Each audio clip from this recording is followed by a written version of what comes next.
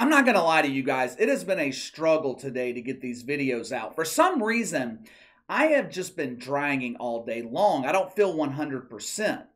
Now, to the dismay of the one or two Fauci fanatics that are left out there who still listen to the Grand Lizard, I do not have the COVID. I've had the COVID twice already. That's not what this is. I'm just feeling, I don't know, I'm just feeling tired. I feel nauseous. I'll probably feel better tomorrow. I had actually intended on taking the rest of the afternoon off just to lay around and rest to get over this thing, but a story came across my news feed that I could not ignore. You guys know I never pass up an opportunity to highlight another example of the woke turning on the woke. One of the many problems in the social justice movement, besides the fact that if you want to involve yourself, you subject yourself to being associated with some of the nastiest people in the world. I say this all the time, but I never show you examples. Let me take a brief moment to show you what your average social justice warrior looks like. Take a look at this beauty here.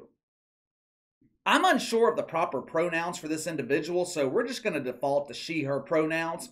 But the facial expression you see on the left, that is the face of a social justice warrior who has just seen the Fauci cucumber for the first time. The facial expression on the right, that's the face of an SJW after a good round of Fauci fucking. Look at me, I'm vaccinated.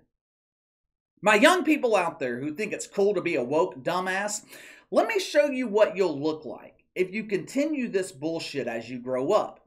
This right here, this is what the woke consider to be a beautiful woman. I had the solution to the rising crime problem in major cities across America. To hell with threatening criminals with life without parole. If someone commits a crime in Chicago, force them to look at Rachel Levine. That's the real punishment. Crime will be eliminated. But anyway, one of the biggest problems in social justice, it is impossible to continuously meet the standards. For one, the standards are constantly shifting and without warning. One day you're a valued member of Woke United Methodist. The next you find yourself locked out of the church door, standing outside with Rex Chapman, begging to be let back in. They didn't kick Rex Chapman out because he violated the woke commandments. They revoked his membership because he's an embarrassing loser. Believe it or not, even the woke have standards when it comes to consistent failure. But don't worry. Don't you worry. Bomani Jones, he's still a card carrying member. Right now, FIFA is learning the same tough lesson that Rachel Nichols learned last summer. There is no loyalty in the woke movement. It doesn't matter how much money you contribute to the useless. It doesn't matter how many sensitivity seminars that you force your employees to attend. It doesn't matter if you promote the fight to end mythical racism. None of that shit matters. The expectation is perfection, 100% compliance. Of course, there's not one person or organization that can meet these ridiculous standards. In the history of mankind, there's only been one man to lead a perfect life. There's only been one man that was able to meet the standard. The social justice warriors of his time nailed him to a cross anyway. These people will always find something wrong with you. And if they can't find something wrong, they'll just make it up. March 2021, FIFA announced that they were joining the fight to end discrimination. We are embracing our responsibility to virtue signal to the 8% of the population who achieve an erection at the sight of Lia Thomas. FIFA implemented a program to make the organization more diverse, more inclusive, more equity driven. Oh, oh, oh, there's the magic E word again. I just love me some equity. Let's push for equal pay and make everyone's pay equally low. They embarked on a campaign to show how committed they were to the cause. Just look at this picture. You see, FIFA, they included a black kid. This is proof that we are diversity driven. The only thing they're missing in that picture is the non binary. I actually asked FIFA about that. I asked FIFA about it. They said that they were unable to find anyone in the world that was born without a gender. Now, take a look at some of the anti discrimination measures that will be implemented at the World Cup mandatory diversity training the hiring of anti discrimination match observers. Um, Okay, what the fuck is that? Is that a group of woke shitfucks sitting in every section of the stadium looking for something to offend them?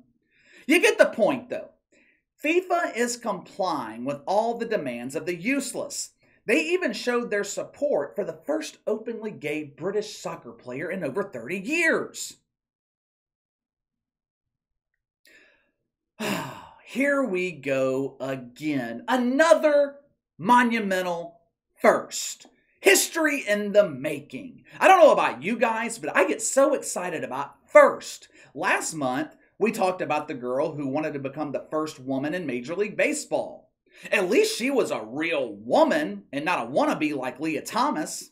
Speaking of Lia Thomas, he was the first man to win a women's championship in swimming. Oh, another historical first. There was nothing historical about that bullshit. You know what would be historical? You know what would be a true first? That's an actual achievement? How about this be the first season the WNBA actually makes a fucking profit? All you social justice warriors in the WNBA, how about you make history by doing that? Jake Daniels. Jake Daniels is a 17 year old British soccer player. He plays for Blackpool. He announced to the world earlier this week that he was gay. Hmm. I don't mean to be anti gay here, but isn't this whole thing kind of played out? Aren't we past the whole coming out party deal? I don't understand the point of announcing your sexuality to the world. If that's really a thing, how come straight people don't do it? I'm going to start a trend right now for all us straight people. I mean, after all, we're living in an inclusive era, right? How come the LGBT get to host all the coming out parties? Let's start coming out parties for straight people, or what the woke call cisgender.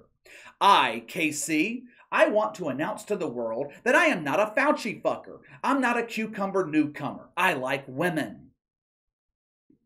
So, Jake Daniels, he announces to the world that he's gay, and the only people that care, the woke media, immediately begin the celebration. It was your typical community circle jerk on Twitter hand lotion for all. In the name of inclusion, FIFA, they tweet their support for Jake Daniels. It was actually kind of a strange way to show support, to be honest with you.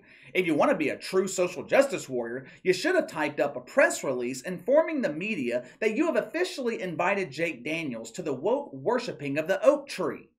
Instead, FIFA pulls a couple of quotes from Jake Daniels and includes a nice little feminine emoji because nothing shows your LGBT support like a girly emoji. I guess I guess it's the thought that counts. I mean, at least FIFA acknowledged Jake Daniels in his courageous announcement. However, they quickly learned they quickly learned it was better to keep their Twitter fingers in their own ass. This one simple tweet, meant to be a show of support for Jake Daniels, immediately sent LGBT activists into convulsions. This is hypocrisy! This is anti gay! Numerous LGBT groups from around the world, they are blasting FIFA through social media and the mainstream media. And you know what? They actually have a point. This is the reason sports leagues should stay out of politics.